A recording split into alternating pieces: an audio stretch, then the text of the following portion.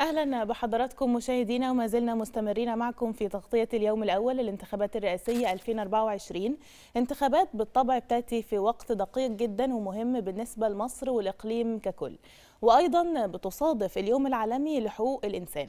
في هذا الإطار ننوه أن الدولة المصرية في السنوات الماضية وضعت يعني ملف حقوق الإنسان نصب عيونها.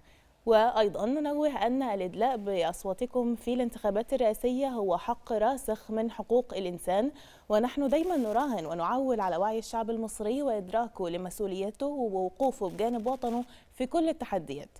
فإذا مر تقريبا النصف الأول من أول أيام العملية الانتخابية ونحن نشهد مشهد انتخابي يعبر عن مدى اصطفاف المواطنين حول الدولة المصرية.